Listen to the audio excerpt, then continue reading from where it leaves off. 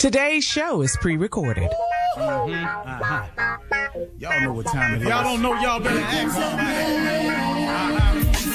Hat on, hat on, suit on, suit on, looking like the dapper dawn, giving them all dressed like a million bucks, bucks, things in his cuffs. Mm-hmm. Y'all tell me who could it be but Steve Harvey? Oh yeah, out there listening to me. Mm-hmm. Put your hands together for Steve Harvey. Put your hands together.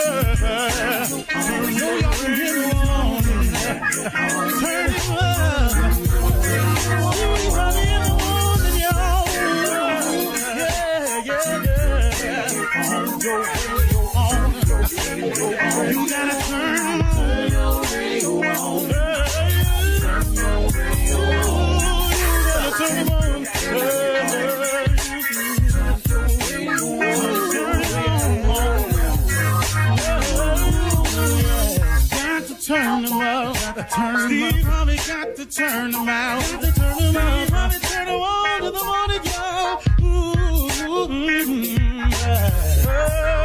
Yeah, yeah. Come on, Steve. Come on. Do your thing, Big Daddy. Uh huh. I sure will. Uh, good morning, everybody. You are listening to The Voice. Come on, dig me now. One and only. Steve Harvey got a radio show. Man, oh man, oh man. Whew. Hey, uh, you know, today I, j- I just want to say something um, um, that I don't think I've ever shared this way before.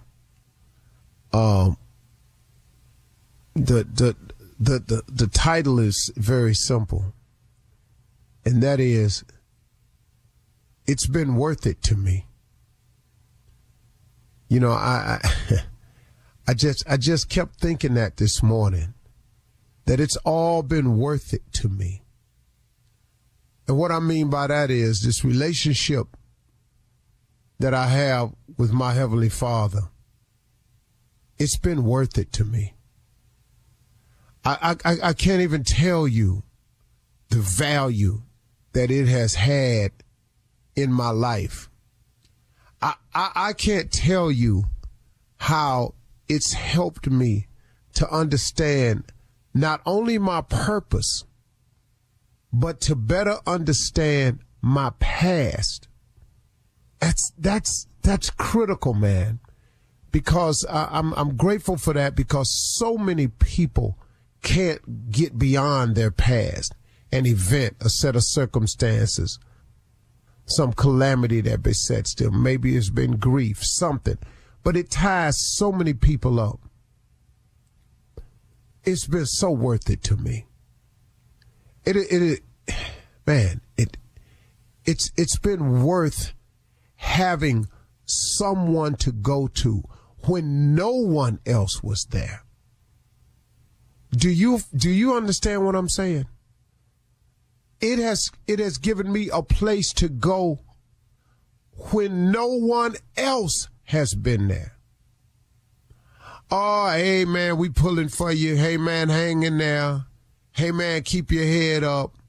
All of that. But I gotta tell you, man, you get yourself in some circumstances and situations in this thing called life when no one can help you but God when the only person that could possibly understand or know what you're feeling is God.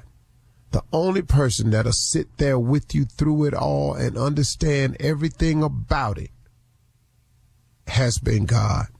It's been worth it to me, man. It's, it's been worth it to me. It's been the biggest improvement in my life.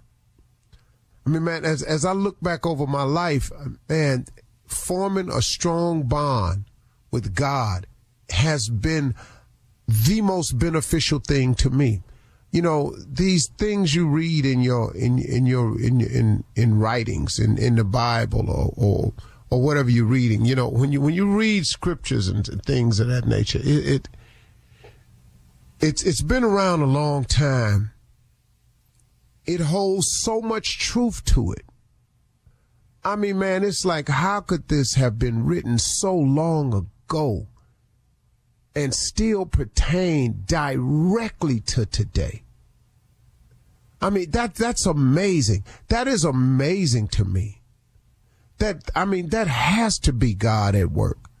To have written something so complete, so dead on point that if you read it today, it means exactly what pertains to today.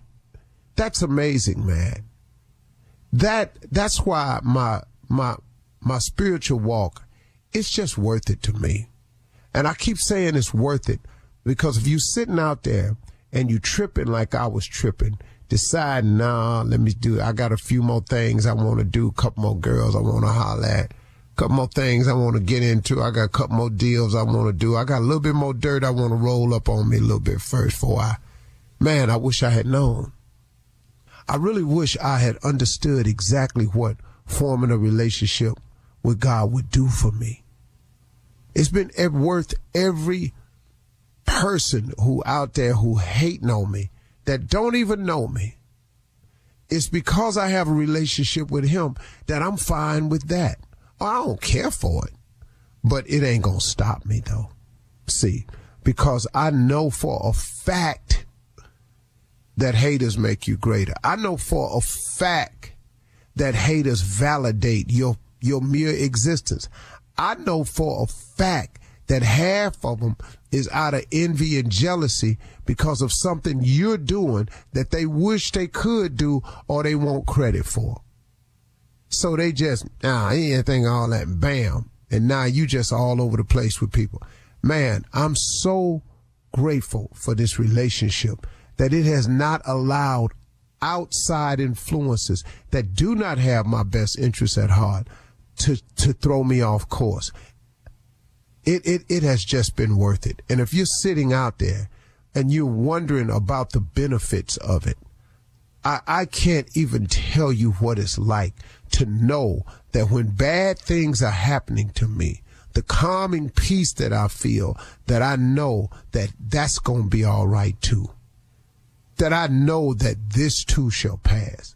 That I know in my heart of hearts, man, that there's got to be a reason for this. And if I can just hang on in there, he gonna unfold that for me and he gonna let me see it. But the number one thing I always know is I'm gonna survive this one too. That this too shall pass. It has been worth it to me, man, to to to have this thing called faith, which is the belief in things that you cannot see and to know, man, along the way that, oh my goodness, man, even though I don't know what's next, or even I'm not really sure about the next step, I do know for a fact that some more is coming. I do know for a fact, it is a fact that God will take care of me. It is a fact that he will never ever leave me or desert me. If I just stay here where I'm supposed to be, He's coming. The Calvary's coming over the hill. He coming over the hill, and when he come over that hill, he gonna wipe out all this mess down here that's that's trying to hurt me. That that I don't have to worry about my enemies anymore.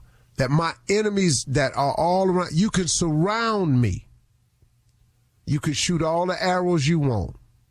Now it's not to say that none of them ain't gonna come close, and I ain't gonna say that you know I ain't gonna be a little under some pressure, a little nervous about being shot at so hard. But at the end of the day, I know this for sure. Ain't none of them gonna stick in me. You can shoot them, but ain't none of them gonna stick in me. No matter what you do, no weapon formed against me. Nothing. You can't you can't do nothing with me, man. I'm I'm so cool. It's been worth it for me. Man. You're listening to the Steve Harvey Morning Show. Ladies and gentlemen, boys and girls, all the people who are orchestra conductors, anyone who has ever aspired to or been an astronaut, anybody who works at Cape Canaveral, anybody that's ever been in the circus, welcome to the Steve Harvey Morning Show. We have a few people on this show that has been in the ladder in the circus before, but I rescued them at a young age, and so they're here today. Ladies and gentlemen, this is the Steve Harvey Morning Show. Ever grateful to God for this new day, this new blessing, this new opportunity, this new chance, another shot. Man, oh man, oh man, what a great day it is. Today is the day that the Lord has made. Let us rejoice and be glad in it. I'm already glad and I'm in it. You too. Steve Harvey Morning Show, Shirley Strawberry, Carla Ferrell, Mississippi Monica, Junior, and the legend that is nephew Tommy. Junior, Yes, sir. I can tell that it was a rough weekend on you. I, You Nah. know, I can just look at you on the Zoom and I already know. I'll tell you All what right. happened. I'll tell you what happened. All right, huh? I'll tell you. Family vacation, huh? Family Too vacation. much that happens though. It's too Yeah, family vacation, huh? Yeah, first one. We we planning one, and I'm telling you right now, if I got to pay for it, everybody not going. Some of y'all gonna see these pictures. Some of y'all just get a phone call. Everybody not going down here to Disney. I'm not doing that. They No, gonna see it on social media. They gonna see. What? They, How many is it, Junior? If it's five of us, no, everybody not going. Five? One of these grandkids ain't gonna get it. Junior, Junior, No. five dog.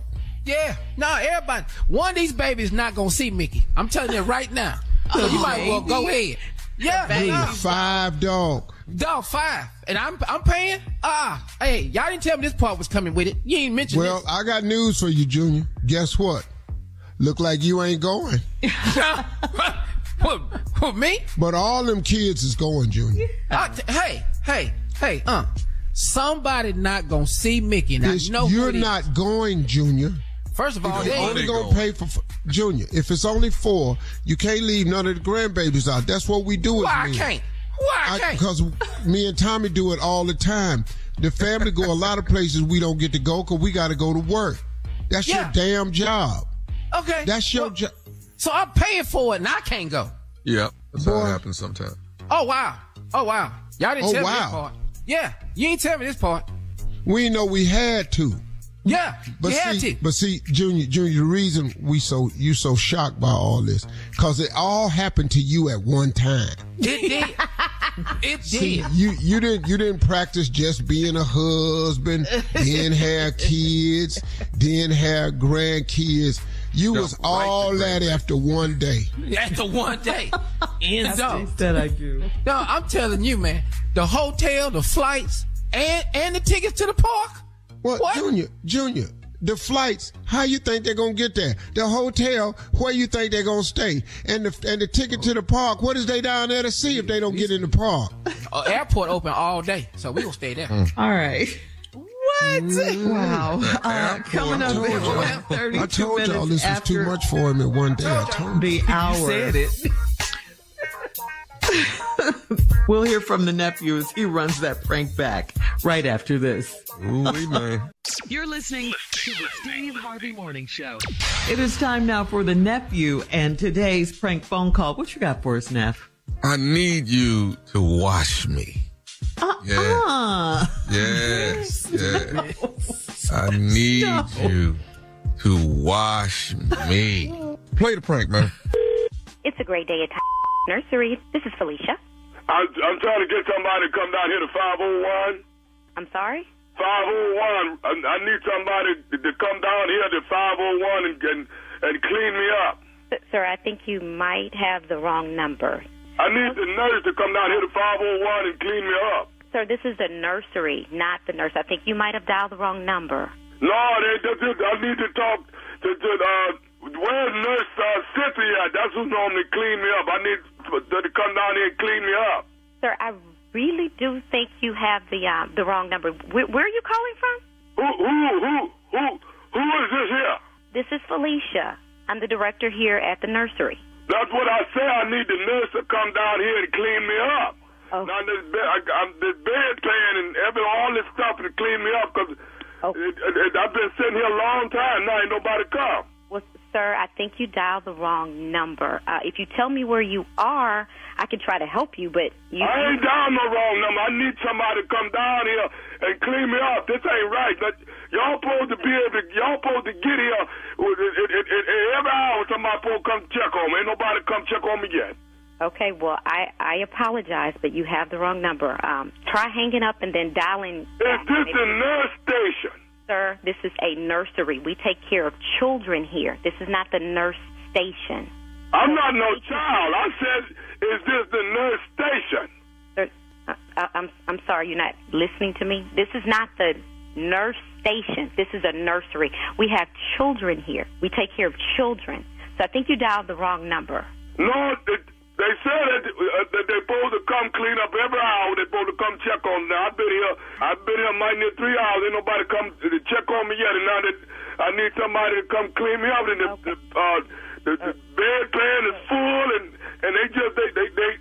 They they just don't come check on us like they supposed to check on us. They supposed to am- come check on us. I'm really sorry that they have not come to check on you in, in your your bedpan. So why would they let us sit here like they do? Okay, sir, just listen to what I'm saying. This is a nursery. We take care of small children. This is not the nurse's station, so I'm No, sorry. my grandkids, I got small children as my grandkids. I got about 42 grandkids. Four, 42, huh? They come see me on Sunday, but soon as they leave, the, the people at the nurse station that they treat me bad and leave me here like this here two, three hours. Don't nobody come check on me. Can you come down here and check this bed pain? Sir, I can't do that. I need to get back to the kids here that I'm that we take care of at the My nursery. kids, no, my kids don't come till they come on Sunday. They come every Sunday after church and they come see me. Do they? Okay. Okay. Well, I, I'm glad your kids come see you, and I'm going to um get off the phone now. When I hang up, you just dial dial the number right You go, when you get off, you're gonna come down here and come see and clean me up? Um, I'm not going to do that, but I'm going to let you call back and. Why you all come clean me up? Why y'all do that? Why you do it? Sir, I'm not a nurse. I'm a teacher, not. When when when when when when when when when I was coming through, people supposed to do the job. You do what the job is, whatever your job is. That's what you do. I worked 42 years straight, and I did my job. Okay. I'm a teacher. That's Why you won't come on down here and do what you're supposed to do? because I don't clean bedpans. You know why? Cause y'all young folk don't do your job. The damn it, you gonna make me mad if you don't get your down here. You get your down here. Uh, I'm going to ask that you not talk to me like that. If You get your down here and come clean this bedpan and clean me up. I ain't supposed to be sitting here like this all this time. What's your name again? It's Felicia, and I have Felicia, tried to be Felicia really, really, really nice to you. Down here right now. Please do not speak to me like that. I'm trying to let you know that you you dialed. any way I want to. You gonna calm down and quit talking to me like that. I'm trying to help you. Now that's just rude speaking to me like that. Now this is a nursery. And you supposed to do what a nurse supposed to do. You get your down here right now. You, you know get what? I have been Nurse nice to you as You talking get- to him, but David, you're not gonna talk to me like that. That's just rude and disrespectful. Don't speak to me like that. You then you You talking about kicking some I will kick your in the wheelchair. This seems to be the only language you understand is me talking to you crazy since you talking to me crazy. Well, when is you gonna get your down here? My is not coming down there. You stay in that stank. How about that? What what what did you say? You heard me. I said you stay in that stank. I'm not cleaning no. I've been trying to tell you for the past five minutes, but you won't shut up long enough to listen. Well, how long is it before you gonna get here then? I am not coming down there to clean your. Why not? I've been trying to tell you that is not my job. You dial the wrong number. Who you think you talking to? I'm talking to you. Who are you talking to like that? You gonna make me whoop your Well, bring it on in. If you think you can get in your wheelchair and make it down here to the nursery to whoop my then come the hell on. Listen, will you take a message from me and give it to somebody? What, what- what's your what's your message? Write this down. N E N E. P N. Uh huh. What else? H Uh huh. E Uh huh. W. What? Okay, you that's the, you got that part? Yeah, I got that far. Okay, T O Mhm. M Mhm. M Y. What is that? What do it spell? I don't know. What is it? Well, spell it out. I'm not spelling it out. You tell me what it is. What does it say? I don't. Nephew Tommy. nephew Tommy, this is nephew Tommy from the Steve Harvey Morning Show, baby. You just got pranked by your sister Renita. oh, my God. oh, I can't believe. Oh my God! That, yeah, yeah. That you you got me. you got me. You oh, got me. baby, I got you. I got you. I got one question for you though. What is, what is the baddest, and I mean the baddest, radio show in the land?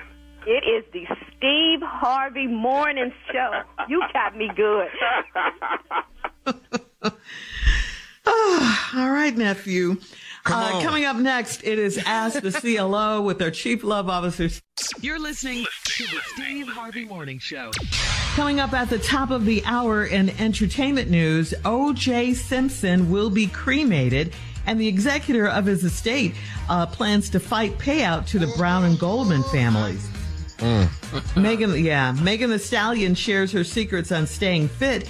And the one and only Steve Harvey is trending for his celebrity family feud fly gear. That's right. We'll talk about all of these stories and certainly Steve at the top of the hour. But right now it is time to ask the CLO, our chief love officer, Steve Harvey. This is from Janice in Tyler. Janice writes, My husband was assaulted by a man while he was out last weekend, and rumors have been swirling about him messing with this man's wife. The my husband said he was robbed, but he still has his wallet, he still has his watch, and twelve hundred dollars shoes. So is he lying to me about this Well- assault? hard, hard to fake a robbery without nothing missing. The key Yeah. to lying is you have to put some. He should have took that watch, hid it, took all the money out the wallet. He could have did anything. Mm. But see, that didn't Yeah. work. Now he got assaulted. That's for sure. You have to figure out is it this man's wife that it, the assault was caused by, mm-hmm. or was it a random failed robbery attempt? And I can tell you right now, just by watching the news, mm-hmm. hardly ever do they have a failed robbery attempt. These young ass boys are gonna get something. Yeah. Oh man. yeah. So he's lying. yeah. I, you know. All right, moving on to Shauna in you- St. see, Louis. the one thing about me now, if you don't tell a good lie, I can't ride with you. Okay, all right. Oh, okay. Yeah, this was not a good one. You have your restrictions, yeah. All right, Shauna in St. Louis says, I'm a school nurse. My friend's seven year old son fell on the playground, so I patched his knee up. He told me thanks and said he thinks I'm pretty, but his mom doesn't. The boy has no reason to lie. So should I confront his mama or not? No, you shouldn't. I think you're pretty. You but my pretty mama to the boy. You're not pretty to his mama. Mm. Your job is the nurse. You ain't you ain't got to be pretty to the mama. Now I can tell you this right here though. What? You way finer than his mama though. I can tell you that right now. right now. And the boy knew it. The nurse And, you is know. finer than the mama. Hell yeah. Oh, okay. That's why the mama hating. She thinks she Yeah. cute. She ain't cute at all. Look at her. Red, big old pretty eyes. Long ass real hair. Where her weave at? She get on my nerves. Look at all them teeth. Ain't had no dinner work. They just straight anyway. Drinking all that damn milk when she was a baby. Just get on my last damn. Now, I can't stand people like that. Everybody else get BBL. She ain't gonna get one. She just gonna wear her natural ass. I'm so sick of her. Okay, moving on to Elsie in Queens. I don't know how we got there. Uh, Elsie in Queens says, uh, My wife goes to bed when the sun goes down. I am up till the wee hours of the morning. She used to stay up and play, if you know what I mean. She caught me, quote, playing by myself yesterday morning and uh, she got mad. Isn't it better than cheating? Yeah, Playing by yourself? Yeah, it is though. It's much more. Yes, absolutely. Matter of fact, that's not Playing even right cheap. next to him. But You it, was didn't he even right have to next think to about that one, huh? Was he right next to her? Yeah. Well, she caught him. She caught him playing by himself yesterday morning. She caught him. She What is you doing, Clifford? What is you doing? Why is his name Clifford? Yeah, no, it's better dog. he that than you know, you know, you know, at least he ain't out in the streets. You know what you want. I don't know what to tell you, lady. He ain't like the other man in the first uh, asked the CLO line about the robbery. Hell yeah, because I can tell you right now, I got assaulted. but I'm not gonna press charges because he, he looked like he needed some stuff, so I wanted to help Right. him out. I don't know how he forgot to take this money. He's lying. All right.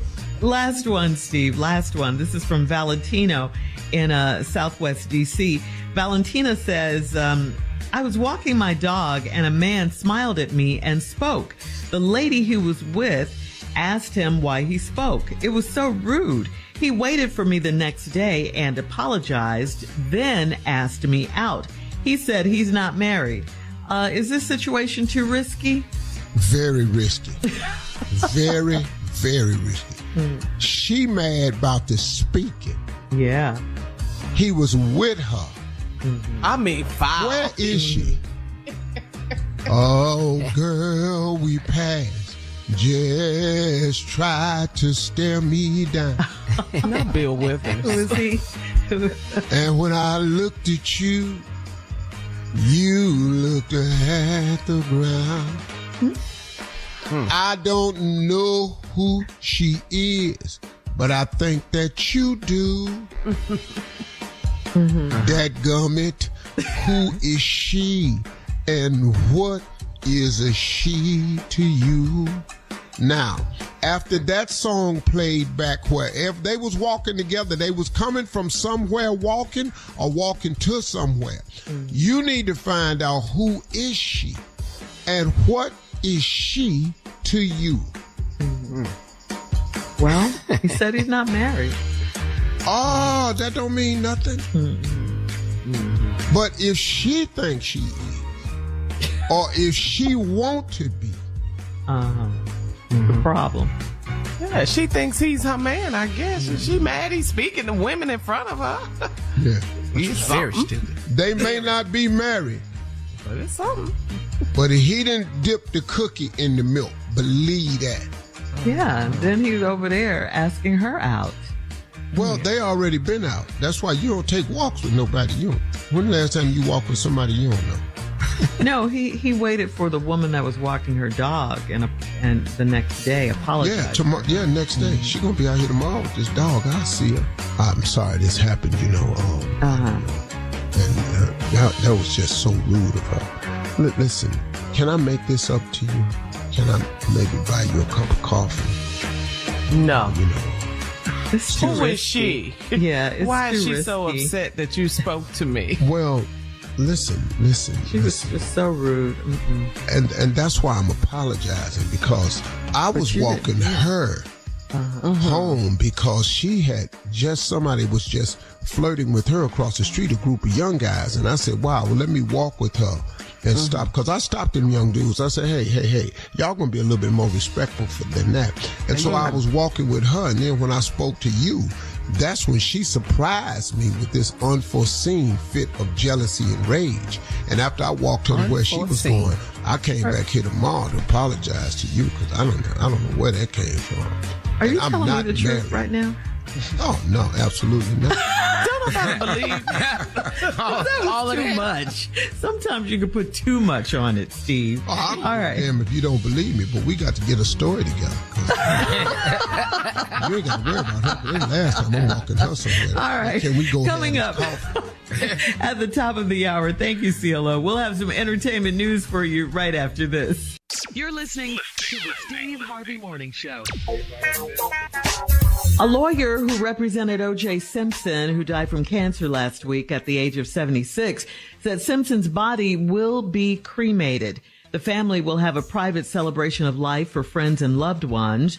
O.J. Simpson had three kids by his first wife, Marguerite Whitley, and two children with his second wife, Nicole Brown Simpson, whom he divorced back in 1992.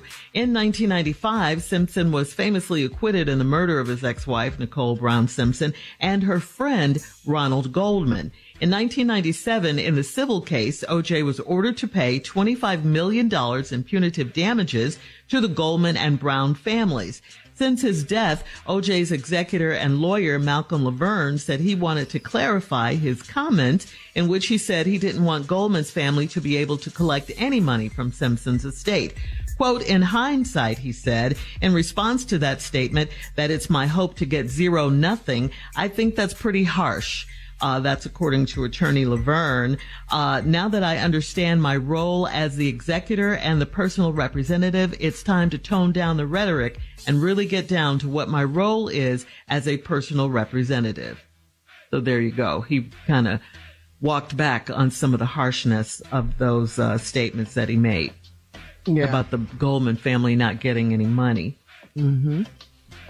Uh, You know, it's really kind of hard to comment on that. I don't really know. I'm, you know, look, you know, he was acquitted in the trial, and then he was found guilty in the civil trial. Mm-hmm. Well, if you lose in the tri- civil trial, that's what you have to do. Yeah. You know, Right. yeah, you have Yeah. to pay. I mean, you know, I thought it was kind of harsh what his attorney said in the in the beginning that the Goldmans are getting nothing, but then well, uh, you know, he- you can't. tried to Plus, fix it, dog, you can't say that. yeah, that was You know, was, there are rules and laws to this Mm-hmm. thing, and I'm I'm pretty sure M- Mr. Simpson has no knowledge of this at this point right now. So I think you need to just do your damn job yeah, Mm-hmm. that's what and he's just saying. read it, and then let the court process uh, take its thing. Yeah. Yeah. and that's what he's saying. It's time to tone down the rhetoric and get down to what his role really is. That's according to the attorney. All right, we're going to move on. Uh, in other entertainment news, Megan Thee Stallion is on the cover of Women's Health magazine. Have you guys seen Yes. it? It She is was on beautiful. Celebrity Family Feud too, Lord. Uh, Yeah, she Oh, looks really? gorgeous. See? In Jesus' name. Oh. Megan shared that it is a struggle to get her to work out and to get her routine started and she must mentally prepare. Megan said in part, quote, if I want to be a stallion and not a pony, mm. I got to get up and put in the work. I love that. If I want to be a Yes. stallion and not a pony, I got to get up and put in the work. Uh, Megan goes to Pilates. She goes to the gym or to the beach with her trainers four to five days a week. Um, she does 40 minutes of cardio on the elliptical. Uh, for her lower body, she does goblet squats, leg extensions, hip Yeah. thrusts, and donkey kicks, which she calls stallion kicks. I love that. Megan's healthy meals typically include breakfast. Uh, she'll have protein powder smoothies for breakfast, pan seared salmon for lunch, and for dinner, she'll have some fish like maybe sea bass or cod with sweet potatoes, kale, tomatoes, or brown rice. So Let's there you stop go. this. Let's stop this. Listen to me. What? Listen to me. What? To all the ladies out there, you are beautiful as you are. Listen to me. Don't listen to all this donkey kicking and glute squatting and, and track running and all this here and think you finna go out here and your ass finna be Meg Thee Stallion. You not. Some of y'all is ponies. You can be the best you that you can be, basically. That's right. Right. Right. Mm-hmm. Some You can of have a y'all hot is, you girl know, summer. There's some cheetahs out there, some lionesses out there. Just be the it best, takes yeah. Mm-hmm. all types of shapes and bodies to make the animal kingdom stand strong. Mm-hmm. So don't be sitting up here thinking you finna go out and buy a bunch of damn sea bass and your ass finna look like Meg Thee Stallion cause you're not. Come on. Megan, Hot Megan girl said, uh, she's No in- more than I can start eating chocolate chip cookies and look like Idris Elba. Do you understand me? Yes, Lord. Uh, oh, hey, wait, Megan on, said she's on, in the space. Whoa, whoa, whoa, whoa, whoa, whoa, whoa, whoa. Yes, Lord. You know what? Yes, you nodded, Lord. Yes, Lord. Hold up. Shirley. You said Idris, okay? Yeah, yeah. But you know, but you don't. We don't need take all that though. yes, Lord. Megan know. said she's in a space where she feels good mentally. The so she story to, is over, Shirley. She we wants to look those. as good as she feels. All right. and what I said was the finite finale of what you said. anyway, juicing now it's up your our turn. listeners thinking they're ass finna go out here and buy some sea bass and some damn go and do donkey kicks and call them What stallions. is a donkey kick? I don't know what that is. You know when you're on all fours and you kick your leg out to the Yeah, side. yeah. You know, Oh. you've seen women do that. Shirley. Yeah, that's Yeah. what it is. Yeah. What's uh, what's the problem? You Or can you kick dish your it, leg but you back. can't take it. she said Idris. Or No, see, that's why that's why I did it though. See, see remember that shot she took at me? Now all of a sudden she What know what shot? donkey kick is. You said none Idris other than Elba. donkey. Yeah, you said Idris. All right, look. Shirley, how many donkey kicks do you do when you work? I don't do donkey kicks. Well, when do you work out? Every day I walk. I just walk. I don't do donkey kicks. I just walk. I have a hot fast, girl right? summer, friend. Go I just walk. I don't like donkey kicks. I didn't know what it was. Well, I want to know now, though. right. I got hit. All right. Speaking of uh, looking good, Steve, you might want to hear this because you're looking pretty fly on the gram. Uh, we see you rocking your fly leopard gear for a Celebrity Family Feud press day, and uh, you must be feeling too, feeling good too, and looking great. Congratulations. Uh, coming up in 20 minutes after, huh? Like, go ahead, pimp, pimp gears, all I was saying. Hey. That's what it is. a Coming up in 20 minutes after the hour. Yesterday was tax day. Did you pay or file for an extension? We'll talk about it right after this. Yeah. You're listening to the Steve Harvey Morning Show.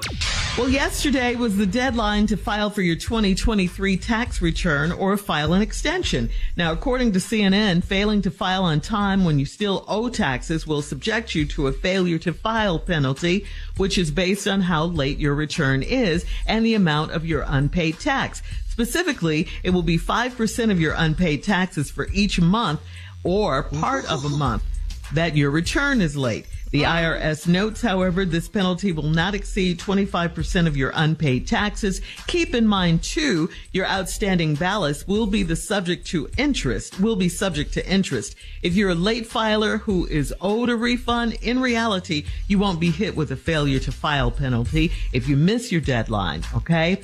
So, did you file on time? Did you have to file an extension, Steve? On time. And even though On this time. is Okay, yeah, yeah, on time. This is oh, the day after the tax deadline. So, Steve, do you have any tax tips or t- tax horror stories you want to share? And I see you with your hand on your face, so something Well, is I've going been on. a tax horror story before. That's why that'll never happen. You've been a The story. headline. I paid them damn taxes. I've, I've been online for mine before. and it was an oversight, but Lord have mercy, they ate my ass alive. So. no, I'm finished paying for the year, uh, for, for 2023. Oh, Amen. Oh, really? Praise So you Lord. paid on time yesterday? You knocked Yeah, it because? I can't, that, that penalty, I can't do that.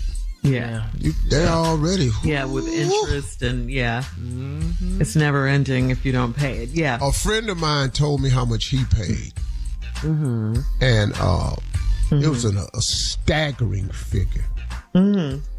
Staggering figure. But then I told him, I said, also the blessing is, it's two blessings. You had it to pay, That's, Yeah. right. That's number one. Mm-hmm. and then you had to pay it. You see what I'm saying? Yeah. Because for your tax bill to be that much, You made some mm-hmm. money. You ball. Yeah. Mm-hmm. so we had a good hard laugh about that. Uh huh. Yeah. Give us a number, a ballpark, man, so we can just give me a ballpark. Oh, a friend of mine? Yeah. Unless you want to share. Oh no, I, I would never share mine. Uh, no. Because you've been a headline. It's been shared for you. Uh, as a matter of fact, we're gonna leave him out of this too, cause I, you didn't even give us a name. We don't know who it is. no, hell no. Uh-uh. Yeah, let's move on. Have a nice day. You don't want to talk about That taxes. was a lot. That just means I walked in a yesterday. My husband was finishing What up you- the taxes, and he said, "Don't touch nothing. don't touch a piece of paper. Don't move Yeah. nothing." What do, So what do you all think is a high number? Uh, a million. Yeah, that's a big number for us. That's big. I'm saying 10K. Oh, you wish you could pay a million. What are you saying? We gotta go. Coming up in 34 minutes after the hour in trending political news, Trump's stop last week at a Chick-fil-A in Atlanta was set up by a black conservative activist, and we'll talk about it right after this. You're listening to the Steve Harvey Morning Show. Former President Donald Trump's interaction with a black woman conservative supporter at a Chick fil A in Atlanta last week has gone viral. The woman is a conservative activist and founder of Conserve the Culture, which recruits and educates college students and young alumni at Atlanta's historically black colleges and universities. She told the former president, quote, I don't care what the media tells you, Mr. Trump, we support you. Some of Trump's outreach to African Americans has played on racial stereotypes, of course, promoting $399 branded sneakers or suggesting that black people would empathize with his dozens of felony charges. Uh, come on, really, come on. Yeah. Well, now Trump is currently. you blind. Uh, He buying black people some chicken now. That's what we're doing. That's sad, right, Tommy? It's Nice really little three piece. That's what we're mm. doing. Well, Chick Fil A's nuggets.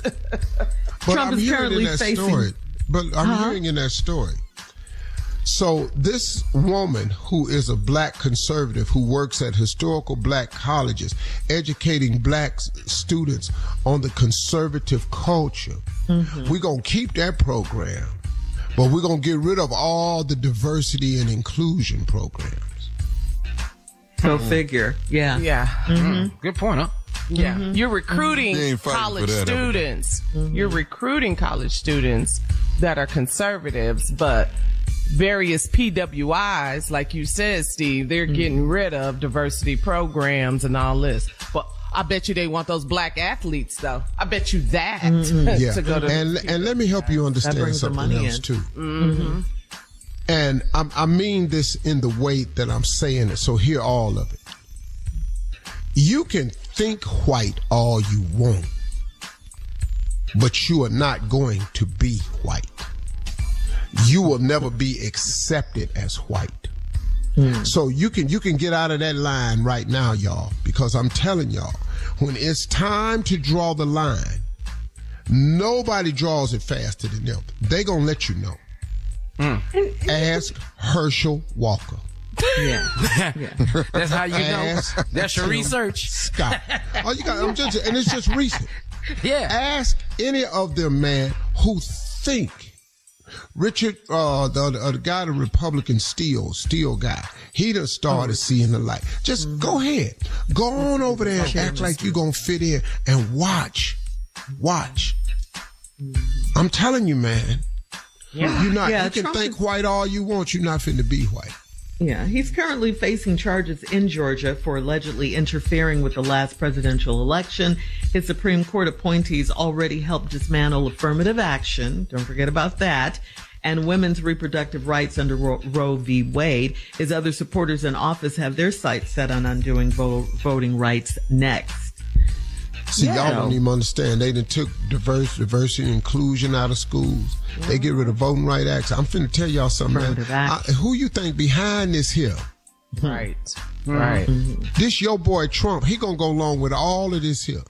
Cause he don't care nothing about you, your advancements. He take all that back. See, they don't want to talk about the stuff that happened in the past because they don't want to be reminded of what their forefathers did. But their forefathers did all of this. But if we can get you off of that, that will create more opportunity for us and we can quit walking around with the shame of slavery and all that we did. I'm not getting off of it. You gonna keep reminding them of You did it. And his hush money trial started uh, yesterday, right? Yeah, jury selection will go On- on, on maybe for a selection, week or so for the trial. So I guess he didn't really uh I guess he didn't really pay that girl either. huh? Uh huh. Nah. The hush Stormy. money trial. Yeah. Yeah.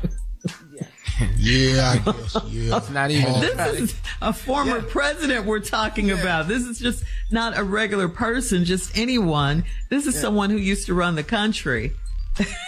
Paid off a porn star to quit talking about Where are we his going with this? Where we going? Come on, there. Michael Cohen. Where you at, Michael? Michael Cohen talking. Go ahead, yeah. Mike. You can't shut him up. Uh-uh. Tell it all. oh, I forgot one thing. All right, uh, coming up next, the nephew and today's prank phone call right after this. I know y'all better not eat that damn chicken. I know that. You're listening to the Steve Harvey Morning Show. Coming up at the top of the hour, right about four minutes after, it's my strawberry letter for today. And the subject is my wife is an activist at the wrong times. We'll get into that and hmm. find out what that's all about in just a few. what does that mean? at the wrong Wait. times. We're not marching now, baby.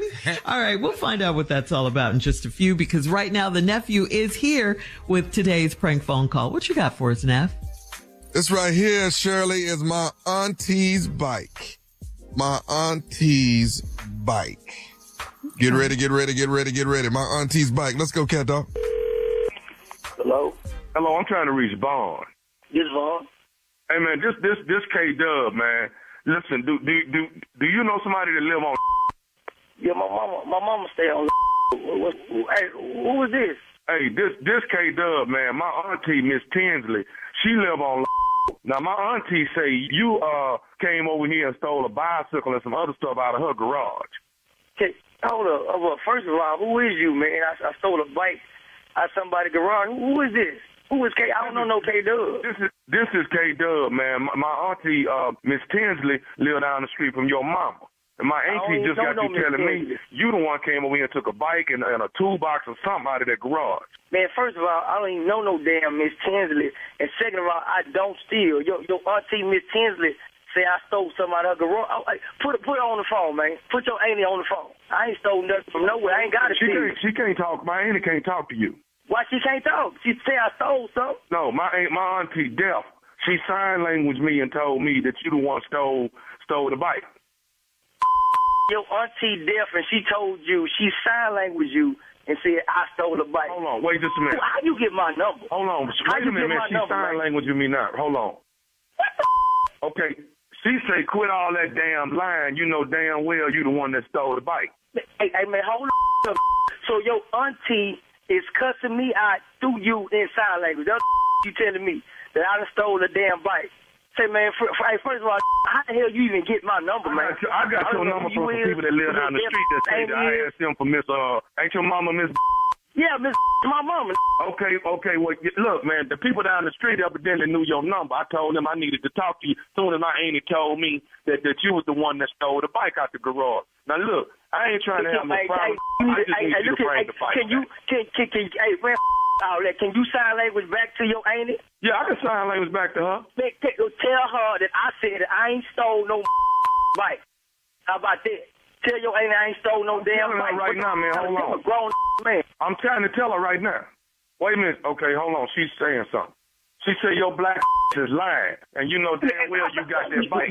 Man, look here, man. You, your damn auntie, that street on with nobody on this street except for my mama. I'm a grown man. What the I gotta steal a bike for? Your deaf. She she must be dumb too. She deaf and dumb. She think I stole something. Y'all, don't, I, mean, I don't even know y'all. Who the are you? My auntie ain't deaf and dumb, dude. Okay, my, my auntie don't never lie. And if Miss Tinsley say that that that somebody took something, that dog, she telling the truth. My auntie don't be lying, and just to be lying, why she just gonna lie on you? Why she gonna pick you out? Man, you know what? I, I don't know what's going on, but I ain't got no reason to steal no bike. Now I'm a, I got a car that ain't paid for. I got, I'm a grown man. I'm trying to get custody of my son. So I'm gonna come in somebody's garage and steal a bike. Is you crazy? You crazy as she is, man. Get out my line with that. Hold on, hold on, hold on. My auntie talk. I don't what she's saying. Wait a minute, man. I'm trying to see what she's saying. Oh. She say that black know damn well he took that bike, and he better bring that damn bike Ah, back. okay, that's that. Look at man. I don't know why the you still on my line, man. I ain't took no bike. The dumb ain't his line. Do you? Do, is she even Hey, man, language right? hey, hey, dog, let me tell you something. You gonna respect my auntie. You hear me? Hey man, you gonna respect me? You call my phone with that? I'm here trying to get my together. You call me some? Hey, who are you? Who the are you? I don't know this is. I don't know no. I'm no K who the- Dub, man. I'm K Dub. Everybody know K Dub. I ain't never heard of no K Dub on in my life. My mama been staying on for 15 years. I ain't never heard no K Dub. I ain't heard no Miss Tinsley. I ain't heard about no deaf lady. I ain't seen no bike. Get the off my line, man. Hey man, see, you gonna make me go down and steal something out of Miss house if you don't bring that damn bike back. Oh, you got me up. Bring somebody to my mama house if you want to. I'm on my way over there. Bring somebody to my mama house. My family is gonna be over for you. The deaf dumb ain't you got. Whoever the down there gave you my number. Everybody, you got me up. We'll blow this up. I'll that street up. You go by my mama house. You better not step in my mama grass. You come by my mama plant. I'm gonna you up. You got me up. You gonna turn me to the dark side. I'm on my way right now. I don't know. We still on the phone. Hold on, wait a minute. Wait a minute. Wait a minute. What you say? Ain't my ain't say ain't nobody scared of your. Ow, crazy.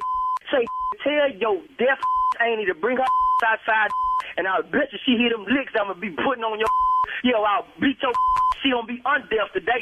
I bet she get cured when she see me whooping your. Hey man, hey, hey look, I ain't coming by myself, homie. Tommy gonna be there with me. Tommy gonna help me whoop your. Who the f- is Tommy? Tommy who? Tommy, man, nephew Tommy from the Steve Harvey Morning Show. you just got pranked by your mama, Miss Vera.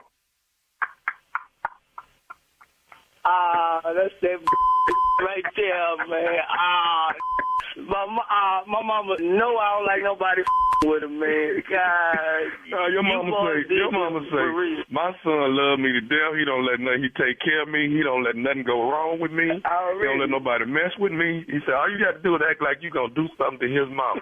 Oh man, well I hope she heard that. I hope she hear me cousin like I did, man. God, dog. I'm in the mirror sweat. I'm mad for real. Y'all did this, man. I swear to God, I wasn't myself. Don't judge me, man. Tell my mama she wrong for that too, dude. What's up, nephew?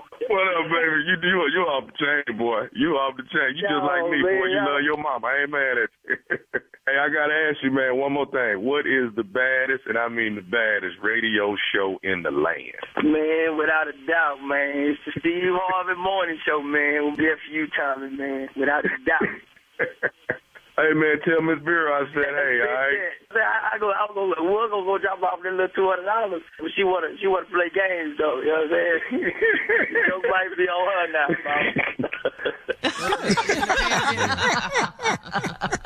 Come on, come on, come on, come on. Play too much. What? What? What? What? What? What is happening? What is happening? That's greatness right there. That's just stupidity at its best. That is uh-huh. greatness. And they're going to get some greatness this weekend. Baltimore, Maryland, Friday and Saturday night, 19th and 20th at the Comedy Factory in Baltimore. Back by popular demand. The nephew is coming your way. All right. Got a few tickets left. Y'all come hang out with your boy. Two Friday, two Saturday. Trying not to, you know, trying not to do nothing Sunday. You know, he didn't got on me, you know, about not getting there on Monday. So, you know, I, I'm going to try to make him Hey, feel a but you little know what, better. man? For Come on years, in. On. For, Tommy, for years, I did them both. I, performed on Sunday night and got them came to work on Monday. Right. Everybody ain't is you. Everybody ain't you. you know, That's your that's why. That's why we are all different. Everybody do different stuff. Uh, they- they different. Everybody ain't you. Is that the response That's what you he give to your boss You on can't why you're win. not coming to work. My boss is my uncle. What is you talking about, Carl? What? But that's your response? Everybody ain't you? Is why you're not coming Yes. to work? Yes. Yes, that that to him, to my uncle. Yes, Oh, everybody just- ain't you. He's just shaking his head. Just cause it's something he did, he years ago he did it. All, but it's your job, though. It's that. your Life job. has changed. Everything has changed. Could you tell this to another boss that wasn't your uncle? This is what I you're don't want. supposed I don't have. I'm not gonna ever have another boss that ain't my own. so you safe on that one. I'm not gonna do this. What? So I'm safe. Where they do that at? What they do to that? When he get through with radio, we th- we through with radio. That's it. What? Your uncle is just shaking his head. All right, thank you, nephew. Coming up next, strawberry letter for today. The subject is My wife is an activist at the wrong time. We'll get into it right after this. You're listening to the Steve Harvey Morning Show. It is time now for today's strawberry letter. And if you need advice on relationships, dating, work, sex, parenting, and more, Please submit your strawberry letter to steveharveyfm.com and click submit strawberry letter. We could be reading your letter live on the air, just like we're going to read this one right here, right now. And you never know, it could be yours. It could be yours. Buckle up and hold on tight. We got it for you. Here it is. Strawberry letter. Thank you, nephew. Subject My wife is an activist at the wrong times. Dear Stephen Shirley, I'm a 39 year old married man. My wife is 37 and she volunteers throughout our community and it's become her life passion. She got fired right after the pandemic because it was too hard for her to keep her composure with her coworkers after all of the Black Lives Matter movement stuff. Every day she comes home ranting, she came home ranting over something a coworker said, and I'm sure she usually took it the wrong way. Currently, she's the director of a nonprofit organization that does gardens in underserved areas of town. She's often featured on the news, and she's so passionate that it's funny. She's talking about growing greens and tomatoes, but she sounds like Malcolm X. Everyone teases her about it, and we always get that speech about black women are expected to be behind the scenes, not in authoritative positions. I tell her all the time that it's not 1960 and she's got a voice in today's society, but she doesn't have to scowl when she talks. I work for a major food distributor, and our small division uh, gave bags of food out for Easter so that 1,000 families could have a meal. My wife volunteered, and I knew she was going to ruin it somehow. As we were handing out bags to pre selected families, my wife went to my CEO, who was visiting from Florida, and asked him if they could only find needy black people to help out. This woman was mad because we didn't have but a few white families. My boss turned bright red, and I had to go get my wife. Stephen Shirley, my wife is an activist at the wrong times. How do I talk some sense into her? What can I do? Hmm. she sounded like Malcolm X. All right, definitely props to your wife for her dedication, for her passion about her community and all that, for her giving back. That's always a good thing. And here comes the but. But you know you can't take your wife to any more job stuff. You do realize that, okay? Because she, like you said, could ruin it for you. There's a time and a place for everything. And the place is not at your husband's work event. You do not confront the CEO there. Keyword confront. Okay. You don't do that. This event is set. People are in place. Things are set to go. Anticipation is high. Everyone is focused on the task at hand and the greater good, period. That's what the day is for. That's what it's all about. It's not for your wife and her passion to help people, which at this moment is clouding her judgment. She needs to understand that what she does affects you. It affects everyone, not just her. You as her husband have to remind her of that. You have to talk to her. That way, hopefully she'll see that you do support her and her passion and maybe she'll listen to you and uh, what you're saying because what she doesn't want to do is to jeopardize everything by finding fault in everything, even when people are trying to do good. Steve? Is Tommy there? No, Tommy stepped away Oh. for a second, Steve. Yeah, I wanted him to do a reenactment in the second half of the letter, but you know, Oh, he'll be back. Oh, he can. Yeah. Yeah. yeah, but he don't. If he don't understand the letter, you know, we He'll can't. You know, I sit through you. these damn pranks, but you know, he can't sit through these damn letters. like. He he busy. He got to go somewhere. He doing leg lifts, trying to get tall this summer. Anyway, Sometimes you have to use it, you know. my wife is an activist at the wrong times. You damn right she is. now, your wife, 37, she volunteers throughout the community. Now, the reason she got to volunteer, and because it's her life passion, is because she got fired. So you once you get fired from a job and and the word get out why they fired you, you ain't finna work nowhere else. Now she volunteer and now it's her life's passion. But she got fired after the pandemic because it was too hard for her to keep her composure with her coworkers after all the Black Lives Matter movement stuff. Let me translate that for you. Please. It right after the pandemic, it was too hard for her to shut her damn mouth with her coworkers who are white after all the Black Lives Matter movement stuff. Every day she came home ranting over something a coworker said, and I'm sure she usually took it the wrong way. Yes, she did.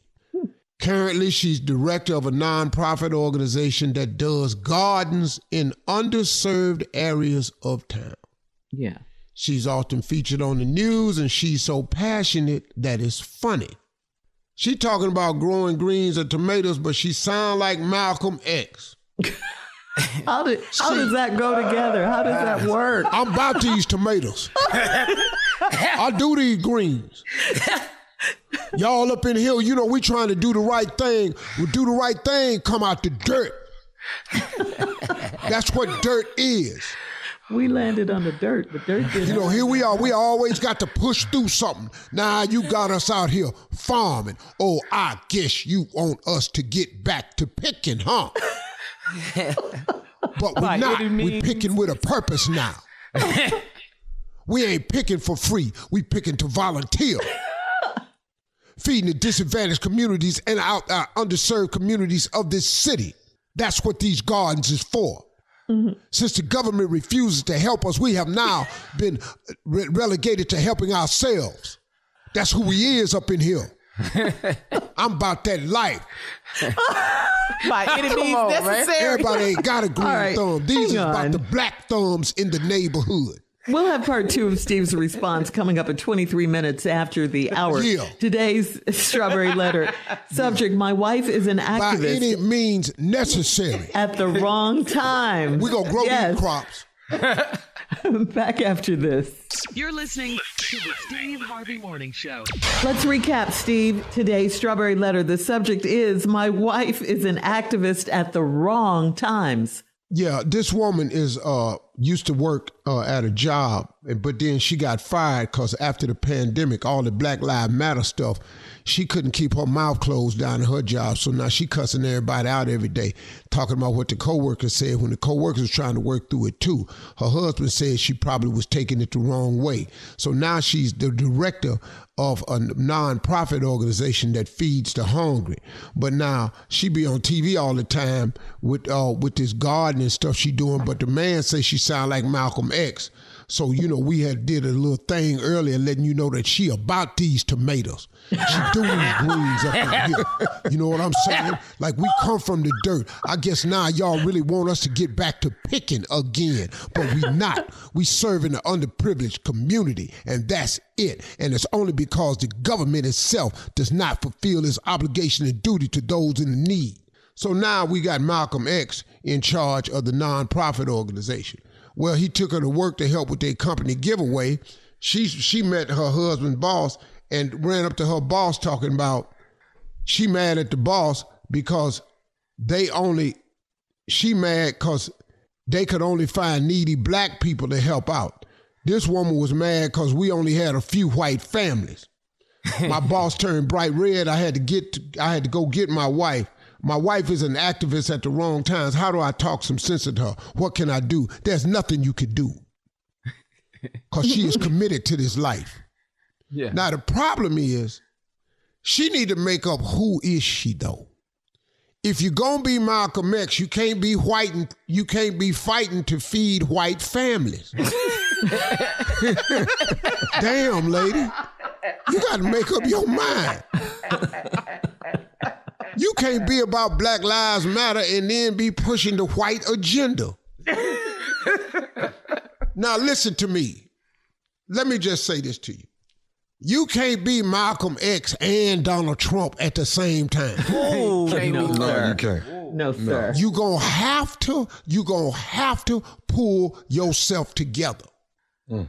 Now, this is what's gonna happen. I see Tommy's here now. So Tommy, here Yes, is this woman who is committed to the culture and Black Lives Matter. She got fired from a job, but now she's the director of a nonprofit that gives out food from this garden they make. And now white people down there, she mad about that. Her husband wants to talk some sense into her because he is afraid that she's gonna mess this up too. You are now the husband trying to talk some sense into your militant wife, who I have deemed as the Malcolm X of garden and and and uh the Malcolm X of garden and uh, volunteer programs, and you the husband that's trying to save lives. So why are you constantly talking to me, Herman? Uh, baby, uh, you you you you're getting a little you you you're taking it a little too far. If I could just get you to calm down a little bit, that's all I'm trying to get you to do. Calm down. Why are we calm now? I guess the slaves should have been calm too. If I can just get you to walk a little lighter, that's all I'm just trying to do. Just just a little lighter. That that, that Oh, don't you see- walk lighter as in light skin. Oh, so now you want me to walk white. I'm not asking you to walk white. I'm not asking you that. I'm not asking. I'm just asking you to just be a little bit more open. That's all. That's all I'm saying. Shouldn't we try to save other people as as well? Don't you think so? Do you even understand what Black Lives Matter was about? I I totally understand what Black Lives Matter means. I understand that, but but all lives matter, baby, right? Don't All lives do matter, but when are black lives gonna matter like all the rest of the lives? I'm not saying all the but Herman. okay, okay. Listen, all I'm saying is, is if we take a different approach with this, we'll be able to help a lot more people. Let's just let's just take help a a, lot approach. more. We trying to help our people. Oh, I see what's going on here now. Ooh, what? What? Oh, I, Shaquita Mohammed Abdul, is married to an Uncle Tom. Oh, Your name whoa, is Thomas, whoa, isn't whoa. it? Whoa, Uncle Tom, that's that's that's, that's a, come on, baby, we we married. Herman That's- Tom Jackson. Herman Tom. Okay. Okay. Now you got to, you about to mess up our relationship now due to this. You do realize Oh, our relationship is already messed up when you refuse to join me with the Black Lives Matter movement, my brother. Your mm. husband. I'm your husband, baby. why why why are you talking to me like this? I mean, we we we got Oh, married. We we, we oh, took so a now oath. I have been relegated to just you are my husband. I guess you are thinking I am your wife. Yes, you are my wife. What are you? Are, are you saying oh, you're not? so now you picking pronouns. I'm not picking anything. I'm. You are my wife. Are you not my wife? What what's what what are we what's, what are we talking about here? Am I not? I guess not then. Am I March about The everything. revolution will not be televised. Okay. What? Just got hair. What? know that. What? Oh. Ignorant show. Post your ah. comments on today's Strawberry Letter at Steve Harvey FM on Instagram and Facebook. And check out the Strawberry Letter podcast on the free iHeartRadio app. Free never sounded so good. You can download it today. Now, coming up at 46 minutes after the hour, we got Junior and Sports Talk right after this. And the Black Panthers. You're listening to the Steve Harvey Morning Show. It is time now for Junior and Sports Talk. What you got, Junior? All right, Charlotte, in the WNBA draft took center stage last night. Um, as expected, Caitlin Clark goes first to the Indiana Fever. Um, I didn't Right. even know that they had a team. Facts. but she gonna stay in the Midwest. She went to the Indiana Fever, and you know our girl Angel Reese went seventh. She went to the Chicago Sky. So That's we not big. Mad. Hey, yeah, we not yeah. mad about that. Go ahead, Angel. It's not where you. It's not where you drafted. That is how you play, girl. Don't even worry about that. Uh, Cameron Brink went second. She out of Stanford. She went to the LA Sparks. But Kamilla Cardoso out of South Carolina, she would also went to the Chicago Sky. So that means Angel and Kamilla gonna be teammates in Chicago. That's gonna be nice, man. Uh, but it was a really star-studded. Like those girls looked absolutely amazing in the dresses they had on. They looked absolutely amazing. Yeah, they look good. Like, No, they did. They look like they ready to turn pro. But you know, Unc, we was talking about this. That that means Indiana is gonna have a lot of viewership this season with with Caitlin Clark coming to the no, Indiana. that was I was dead to you. I knew that's where you was going. Because you know whoever drafts Caitlin is going to get the megastar of women's basketball so far in terms of viewership of all time. Mm-hmm. And that's a big part of it. Now let's see if it translates into the pro game though. See, that's mm. where Oh. they gotta really figure out what to do in the WNBA with attendance. Because if you can get attendance up, you can get TV rights up. You get TV rights up, you get them girls' salaries up, those women's salaries up, you know.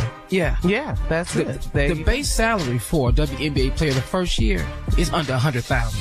Wow. and that's sad. That's that's really is. It's under a hundred thousand. Wrong. I don't like That's that. dead wrong. No. I don't like that at all either. And that's why we Well- fight for. Okay, what's Yeah. the problem?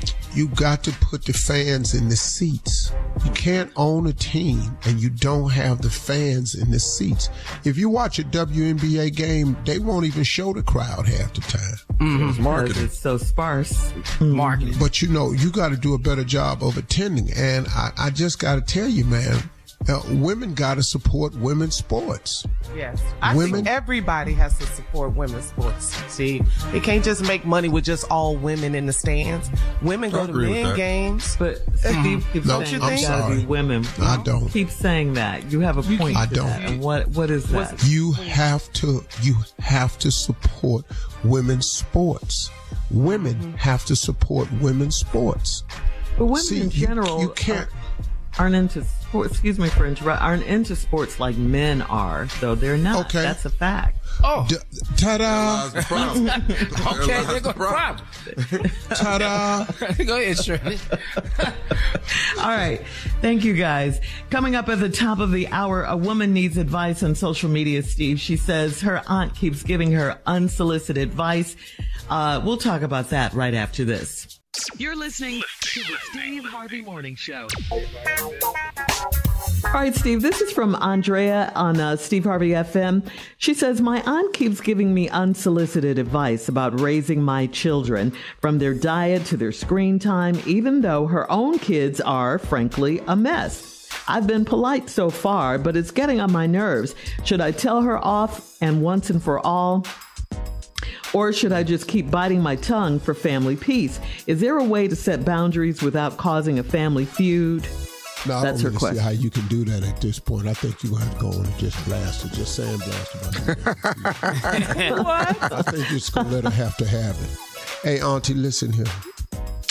I know you're trying to be helpful, but I don't really want you talking to me about my kids because I don't think you've done all that damn good a job with yours.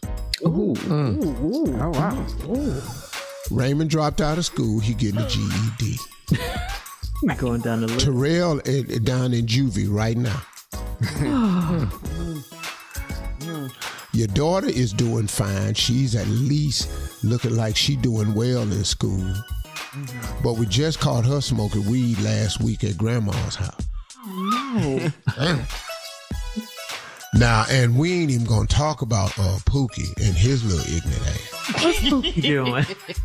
Cause you down at the school every Friday about something he done did, and he been and he been suspended four times. Please stop talking to me about my children, okay? Nah. Nah. I can tell you right now, clearly your children are a problem when they got to put out when they got put out of Sunday school. We you know that. She The definitely Lord's has. Lord. So now, All we're, right. gonna, gonna put a stop to this right here. Yeah, because can she said her like own that. kids are a mess. Her cousins are a mess. And just point out the mess. Yeah. Wow. All right, I think we have time for another one, Steve. This is from Vince on Steve Harvey FM. Vince says, My wife and I have hit a rough patch as of late. To work through it, I've suggested couples counseling, but my wife is having no part of it. Even so, I've decided that I would go to a therapist alone to try and work through my part of it. Here's the problem. Lately, whenever I come home from an appointment, she wants to talk about what happened in my session and what am I saying about her. Uh, so far, my only response has been that I'm that my therapy sessions are my time and it's none of her business. But I add that if she wants to come along and to be a part of it, she's more than welcome to join me. That's where the conversation ends. But to say things have gotten even more tense is an understatement. Is there a better response to this or am I right to say my therapy is my business? Well, I admire you, brother, for wanting to work through it. Cause see, I, it, it just if it's more and more tense, and you want to do something about it, you offer couples therapy. You thought that was a good idea. She didn't, so you went out there to handle your part of it. Mm-hmm. There is no other way to do it, man. I mean, but you can't. You you're not gonna win this battle by yourself. It take two to tangle. Hmm. You know, it take two people to work on the marriage, not one. One. I don't know how. I don't know how one fix it. Yeah. If you want to win in the marriage and she don't, I don't know what to tell you. Yeah. If you think it's a problem in the marriage and she don't, I don't know what to tell you. But you a good dude though, I'll tell you that. You one of them good men. And all she wants to know is what what is he saying about her to the therapist? What is he saying? Well, I about went her? to I went to uh, couples therapy one time. Uh huh. Yeah, one. And That go. and what happened? Yeah, I, I I left therapy and went to the law office. Wait a minute. The same day? Why did I know this is going to be a crazy answer? Yes, sir. Therapy session. Yes, sir. Your life, Steve At Harvey. least you done went out there more than once. I went one time. One time. Immediately after that, I made a phone call. As soon as I got back to the house. You knew. you just knew. Yeah, I didn't know what I don't know what the therapist was gonna say in the next session, but but she wasn't gonna be talking to me though. you were done. Clearly, I recognized the problem, even if she didn't. All right. We'll have more of the Steve Harvey Morning Show coming up at 20 minutes after, right after this. You're listening to the Steve Harvey Morning Show. All right. So here's a question Is Generation Z over social media? Real. Well, it could be because it's hard, huh? It could be because as hard as it is to believe, the generation raised on social media, Generation Z, may be growing tired of it by now. Uh, last year, the University of Chicago published a report that found that 57% of college students who are active users of Instagram would, quote, prefer to live in a world without the platform. Researchers asked the students how much they would have to be paid to get rid of their social media, and the average answer about fifty dollars. So, hmm fifty dollars would would make uh, them make their social media go away. So, do you guys agree that life would be better without social media? I do. I promise you, I do. Might be. I like Ain't it. no might. Oh no no no. Oh, I like no, it. no, no. Oh, wait. Well, they, Right now. Because we didn't have it growing up, and we were fine. We were just out fine. Yeah, we turned out fine. Well, I, I mean, like it for what? I, I don't need it. I don't need it to be successful, and I mm-hmm. sure don't need it to find out the lies that's out there. I don't, I Me and my wife the other day was still, are we still together? I said, yeah, baby, I think so. She said, the paparazzi was taking pictures of me, so I just wanted, is everything okay back over there? Yeah, everything fine, baby. I ain't heard nothing. All right, coming up in 33 minutes after the hour, we'll play a round of Would You Rather right after this. You're listening to the Steve Harvey Morning Show. It is time now for a round of Would You Rather. Would you rather be in extreme heat wearing a ski suit, you know, one of those ski snowsuits, or would you rather be in extreme cold in a bikini or a swimsuit? Which one? No, I'm gonna take that. I'm gonna be in that heat. Y'all be in the heat for sure. I'm gonna be in the heat. I know damn well Your ass can't be in no cold. Yeah, So we as soon as you say cold, you might well be on in the hospital right now. What about you, Steve? Oh, I'm gonna take the hot suit. Yeah, I'd rather be too hot than too cold. All right, would you We're gonna rather lose some give- weight too. Uh huh. We're gonna lose some weight with that. Yeah, too. We good. yeah, you will. All right, we were just talking about social media earlier in the show. So, so would you rather give up social media or eat the same dinner for the rest of your life? Oh, the hell with social media. the same food all day. Same dinner for the rest of your life or give up social media? Which one? I don't want to eat the same thing. I don't want So to do you're that. gonna have to, yeah. Yeah, I'm just gonna keep gonna my keep it. social media. Junior, Yeah, I'm just gonna keep the social media. I'm not Uh-huh. eating chicken for the rest of my life. No, I'm not doing that. Steve. I'm on social media uh, all the time and still got a damn chef. So whatever. You better stunt. I'm, while you hating, I'm gonna eat. All right. Would you rather own just one pair of shoes or just one blazer? Oh, hell. no, Come on, fashionista. Uh-huh. I want to hear this answer, blue cheese. Come on, huh? Ooh, that's a tough one. One Somebody blazer. Go- Uh-huh. Or one pair. One blazer. I'm going with the one blazer. Yeah, one we got blazer. To have, we got to have a variety Yeah. of everything else, though. Okay. Steve, sit up. Steve, Come on, uh. No, I'm gonna ta- I'm gonna take this one pair of shoes. I got to change clothes. really? Okay. Ooh, them Wait, shoes so gonna you look a whole lot, boy. Oh wait, so you think that you gonna be able to switch your shoes, but you gotta wear the same damn blazer? oh, here come blue suit, navy. All right. No, Would you rather? hell no. Here's one. Would you rather forget your wife's birthday or would you rather forget your anniversary every year? Which one, birthday or anniversary? Oh, you can't do nothing one of them, man. Can't, can't do neither one.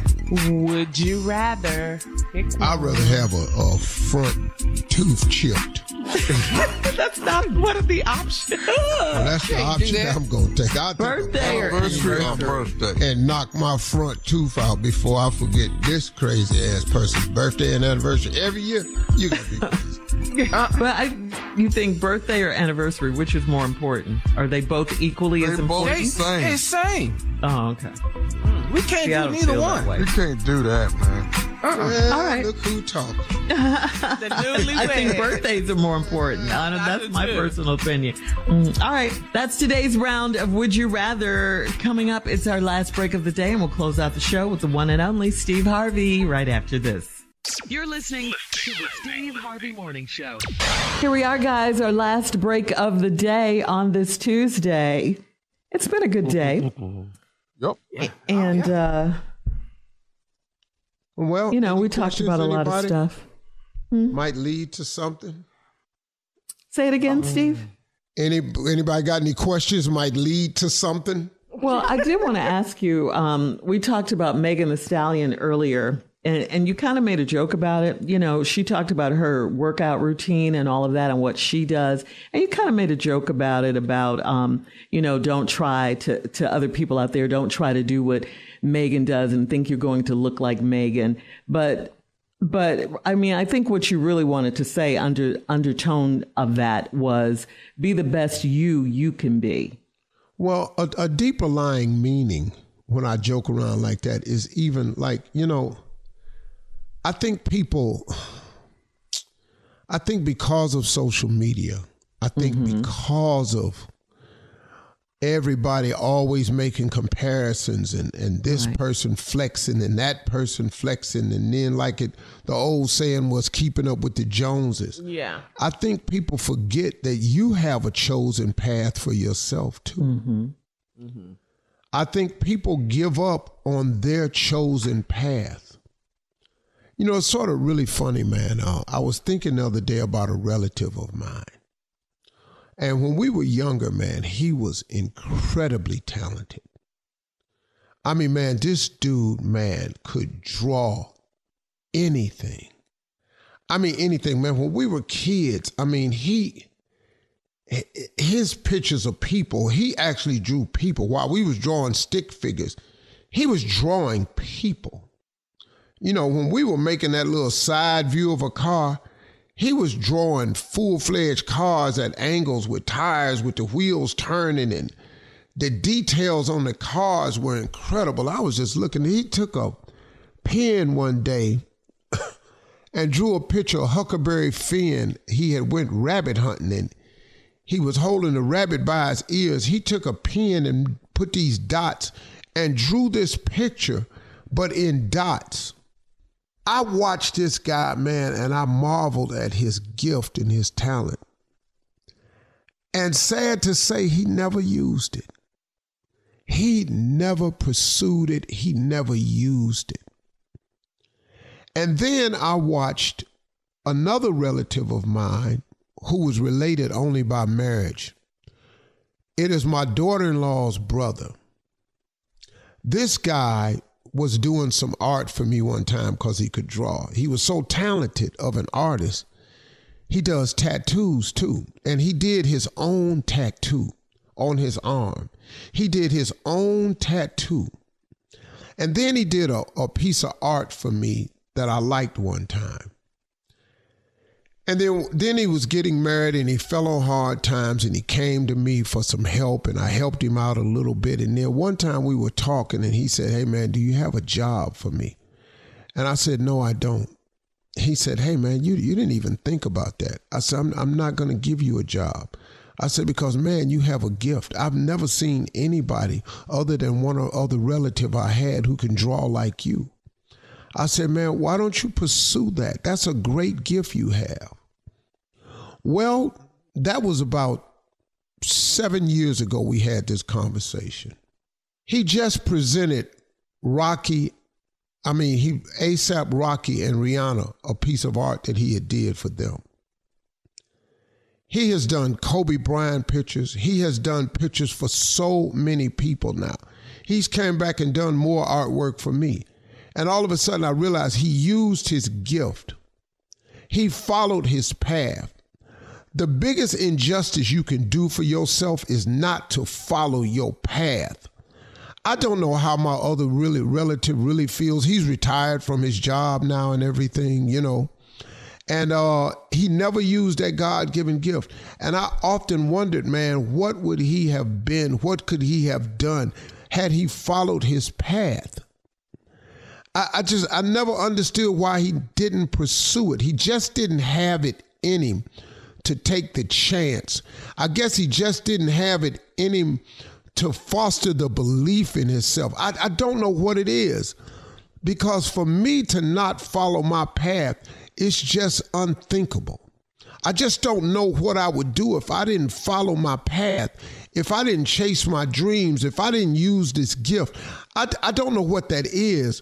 I am suggesting and imploring everybody out there use your God given gift because He gave you a gift.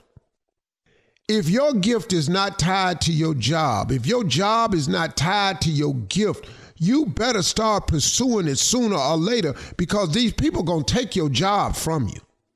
Age going to come take you away. You're going to retire. Something going to happen. They're going to close a plant.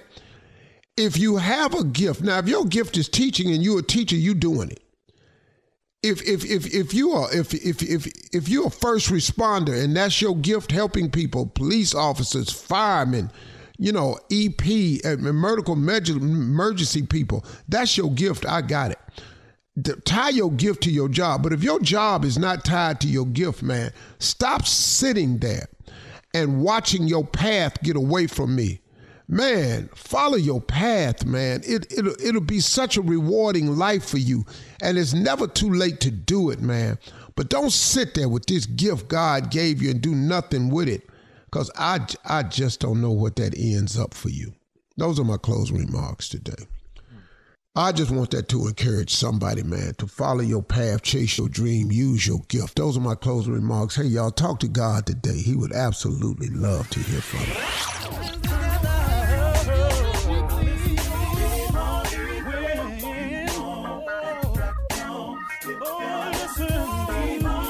For all Steve Harvey contests, no purchase necessary, void where prohibited. Participants must be legal U.S. residents at least 18 years old unless otherwise stated. For complete contest rules, visit SteveHarveyFM.com. You're listening to the Steve Harvey Morning Show.